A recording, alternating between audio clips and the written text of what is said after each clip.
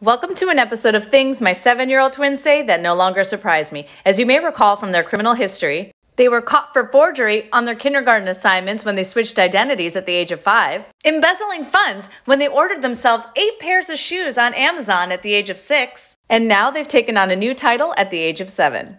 Just for some background here, my twins' birthday is over the summer when a lot of their friends are out of town. So I tell them we will celebrate your half birthday, but let me get through the holidays and I'll start arranging it. And then I get an email from one of their classmates' mothers. It reads, Hi Shumi, I hope you're well. I'm so and so's mom. He brought a note home from Gia last week about her birthday party, but it doesn't have a date or time on it. Is it this coming weekend? I asked him and he wasn't sure. We're heading to Washington on Sunday, and if I end up missing you, have a wonderful celebration.